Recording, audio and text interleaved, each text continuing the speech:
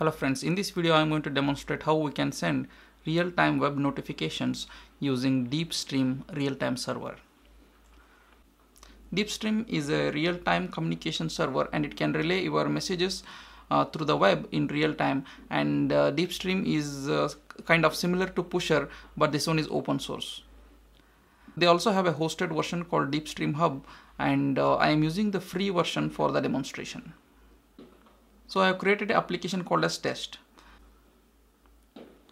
And when we click on the test application, we can see all the stats of that particular application. This uh, this dashboard is kind of similar to Pusher, uh, but it has much more functionality which I still need to study.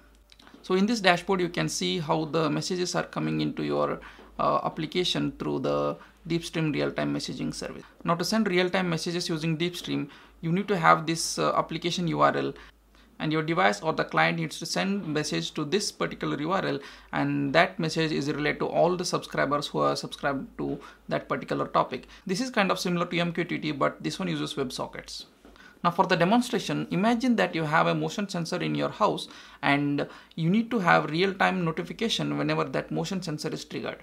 So you need to create your test application and uh, you need to get this application URL. So we will send message to this URL and the DeepStream server uh, will collect it and we can see the incoming data in the Data Explorer tab. Now to demonstrate how we can send real-time messages using the HTTP API, we will use this Data Explorer here we can see all the records we have created and uh, what is the values that is being set by the real-time messages coming into the server. To send real-time messages to the server, uh, we can use the HTTP API given by them. I will use the Fiddler software for this. Now here you can see that uh, I have copied the same URL given here. You need to copy this URL because this is the URL you need to send the data to. Copy this URL and paste it in Fiddler. That's what I have done here now for the demonstration what I've done is I created a record called as motion and uh, it is in the path t slash 1 so I will update this record uh, in real time from an uh, HTTP uh, client like Fiddler and we are sending the message in uh, JSON format. And the uh, request will be of post type. The topic type is a record and the action we are doing is a write. And the record name or the path is t slash 1 and the variable name or the path is motion. So when we execute this, the DeepStream hub will respond with the success. And here is the message we have sent. And we can see that data in real time using the data explorer. So here is the variable t or the record. So here is the record t slash 1 and the variable is motion. And the variable motion is having value 1 now if we want to update this value uh, 1 to 0 in real time then we just change this data to 0 and it gets updated in real time so the motion value becomes 0 in real time the communication is very fast because it is being done using WebSockets.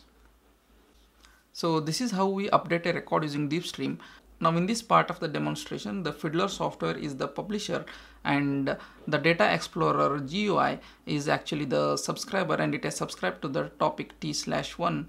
So now we saw how the server is collecting real-time messages coming into it and suppose if you have a subscriber or another software which we which is listening to this particular motion variable then deepstream provides sdks for different uh, programming languages now I will demonstrate a simple uh, JavaScript program. This is a simple HTML JavaScript application. Uh, in this application, we are creating a DeepStream client object and uh, we are playing a burglar alarm or a siren sound whenever there is a motion detected.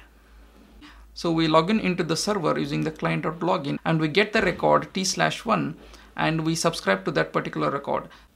And inside that record, we are subscribing to the uh, variable called as motion. And whenever there is a change in this motion variable uh, this particular function or this particular part of code will get executed. So whenever a new message arrives the data is logged onto the console.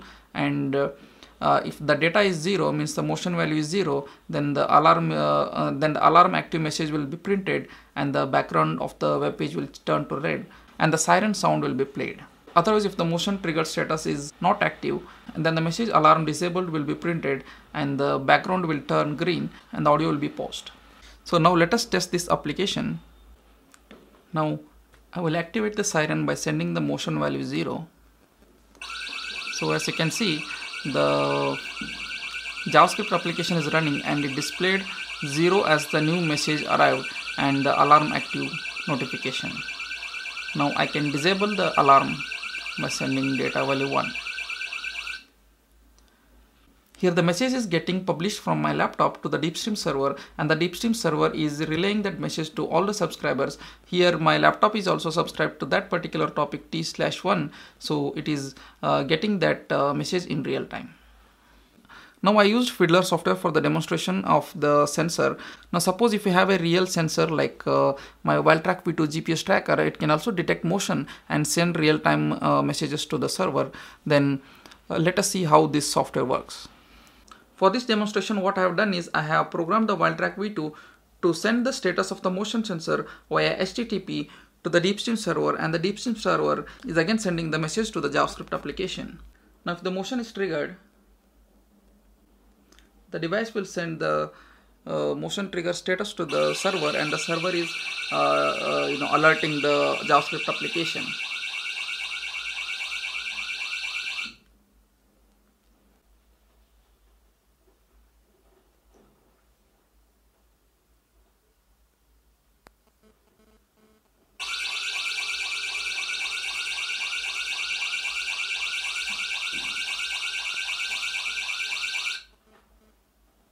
Now let us attach the sensor to the door and see how the device can be used as a security device and detect if someone tries to open the door.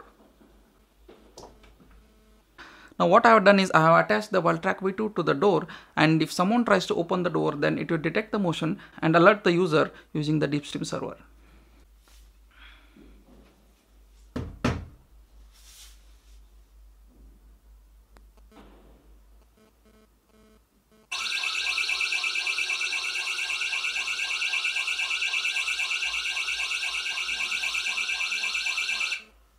It will even detect if someone is knocking on the door.